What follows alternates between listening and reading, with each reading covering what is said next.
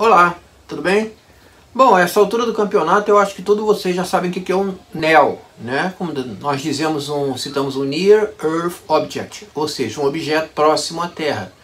São asteroides que têm potencial risco, tá? São asteroides que irão passar muito próximos da Terra e existe meios de você detectar, né, das pessoas detectarem esses asteroides, é, ver como do que eles são feitos, qual material que eles é, são compostos, se eles apresentam alguma ameaça para a Terra, calcular a órbita deles e ver se eles vão cruzar a órbita da Terra ou mesmo se vão atingir a Terra, tamanho e também como, se for o caso de uma ameaça real, se ele realmente vier em direção à Terra, como fazer para desviá-los?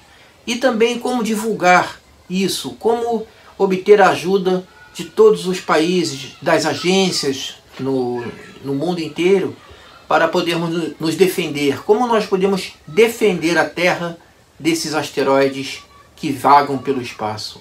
Como disse Neil deGrasse Tyson, o universo tenta nos matar a todo instante. Vocês vão aprender como se defender, como nos defendermos dessas ameaças em cinco vídeos. Vai ser uma série. Esse aqui é uma introdução. Vamos nessa? Vem comigo.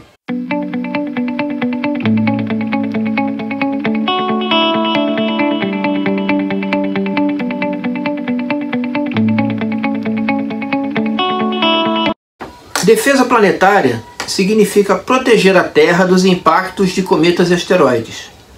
Asteroides e cometas são abundantes na vizinhança da Terra e os impactos, embora raros, são inevitáveis.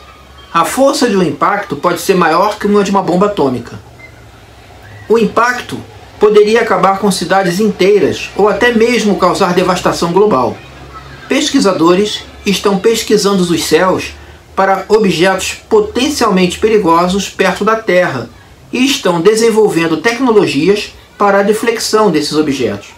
Mas o mundo de hoje ainda está despreparado para evitar o impacto de asteroide, a menos que o objeto seja detectado com anos de antecedência, e esse aviso está longe de ser garantido. Etapas podem e devem ser tomadas agora mesmo para defender o planeta dos perigos do sistema solar. Nós deveríamos nos preocupar sobre a ameaça do impacto, mas a boa notícia é que podemos realmente prevenir um desastre. A sociedade planetária tem um plano. Objetos próximos da Terra, ou NEOs, incluem asteroides e cometas. Asteroides são pequenos e rochosos e ou objetos metálicos com ou sem materiais ricos em carbonos. Cometas são feitos dos mesmos materiais, mas eles se originam muito mais longe do Sol, então eles também contêm gelo.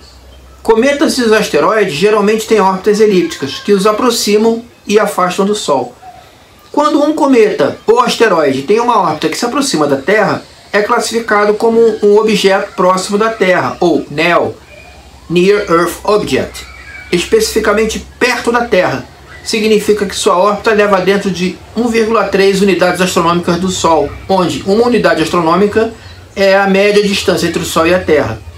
Essa distância média é de 93 milhões de milhas, ou 150 milhões de quilômetros, ou aproximadamente 8 minutos-luz.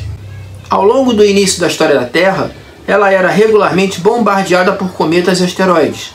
Este processo ajudou a formar a Terra, forneceu um pouco da água para os seus oceanos e material rico em carbono para a vida, e limpou o caminho da Terra ao longo de sua órbita. Por causa da atividade geológica perpétua da Terra, você não vê a maioria das crateras causadas por esses impactos hoje. Na Lua, da Terra, onde há pouco movimento geológico e pouca erosão para remodelar a superfície, você claramente ainda vê a história dos impactos que a Terra e a Lua sofreram. Então, gente, serão cinco vídeos, tá? É, fora esse aqui da introdução. Sendo no, no primeiro vídeo eu vou dizer para vocês como detectar né, um asteroide né, que esteja no céu. É como conseguir informações sobre a órbita dele como conseguir é, fazer o cálculo da órbita desse objeto e se ele oferece algum risco para a Terra. Tá? O terceiro vídeo vai ser como é que você caracteriza, como é que você identifica de que material ele é feito, como é a forma desse objeto, qual a velocidade dele, como ele gira, qual o formato, do que ele é composto, se ele é de metal, se ele é se a gravidade dele é pouca, se ele é um fluffy, como é chamado, né, é, tipo uma tradução horrível, seria fofinho, assim, né, se ele é de rocha, né, ou se ele é totalmente metálico. Então, se ele oferece o risco. Outro vídeo seria, dependendo do tipo de asteroide, é como é que a gente pode deflectar ele, como é que a gente pode, ou seja, o que, que significa deflectar? Desviar esse asteroide da órbita da Terra. Existem vários meios, dependendo de quão, como é a constituição desse asteroide. Dependendo do tipo do asteroide, se ele é médio, se ele é pequeno, se ele é grande, ou dependendo da composição dele, você vai ter um meio que você vai, vai se tornar mais fácil deflectá-lo, certo? E é preciso também, o próximo vídeo seria colaboração de todos os países, certo?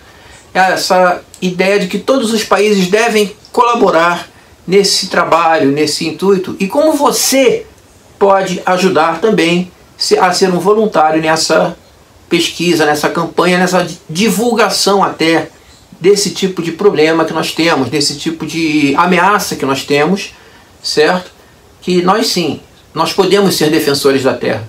Só que nós não temos ainda nenhum foguete preparado lá, em nenhum lugar, em nenhum, nenhuma base de lançamento de foguetes, nós não temos ainda um foguete preparado para ir lá fazer uma, um desvio, desviar um desses da gente. A gente não tem ainda. Tem programado para o ano que vem, para 2021, o lançamento do projeto DART, né? que vai ser um, um, projeto em que nós vamos atingir um asteroide duplo com dois foguetes. Né? Um vai atingir o menor deles primeiro, vai desviar um pouquinho ele da rota, depois o outro vai atingir o outro maior e vai desviar o outro da órbita também. Então vai ser um teste para ver se a gente conseguiria. No caso, esse asteroide não é um asteroide perigoso, tá bom? Ele não é uma ameaça para nós. Mas se acontecer de vir de uma ameaça se esse procedimento daria resultado. A gente tem que iniciar esses testes. Vai ser iniciado no ano que vem. A gente tem que se preocupar com isso, certo, gente? Então, eu agradeço a vocês por terem assistido. Isso é só uma introdução. Serão cinco vídeos, cinco aulinhas que eu vou dar para vocês. Tá? Eu fiz um curso né, com a Planetary Society. Esse curso foi muito legal, foi um curso rápido né, que eu fiz numa tarde e recebi até um certificadozinho bem legal deles. O curso é bem divertido, o professor é fantástico, eu consegui entender tudo que ele falou. É, infelizmente, né, é, o curso é todo em inglês e não tem legenda, nem em inglês e nem em português.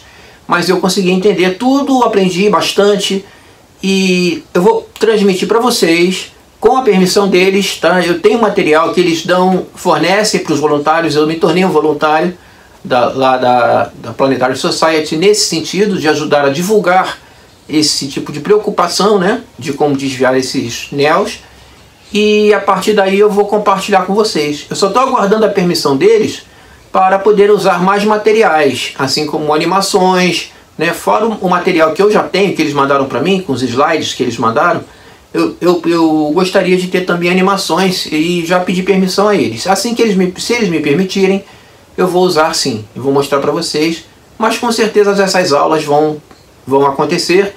É, se eles não autorizarem a utilizar o material deles, eu busco outros materiais, outras, é, outras imagens, só assim as animações, tudo bem. O importante é transmitir a informação, é, dar o recado para vocês. O importante é que vocês saibam que existe como defender o planeta. Vocês, depois disso, vocês todos serão defensores do planeta. Depende de vocês divulgar vocês, principalmente vocês que divulgam a ciência correta, vocês que são influenciadores, principalmente os canais grandes, né? Que eu estou me referindo a todos os grandes aqui, os corretos, né? não só o da rede UPC aqui, mas todos os canais que divulgam a ciência correta, que ajudem a divulgar esse tipo de informação para que a gente possa nos preparar para um evento de uma ameaça real. Pode ser amanhã, gente. Né? Quem sabe? Então um abraço, muito obrigado por chegarem até aqui. Deixem um like, se não gostarem deixem o um dislike também, não tem problema nenhum, até ajuda o canal a ganhar relevância, como diz o Sérgio Sacani também, né? E não tem problema nenhum, se quiser dar dislike, pode dar, não, eu não me importo. Um abraço a todos, até o próximo vídeo, se inscrevam e Tchau, tchau.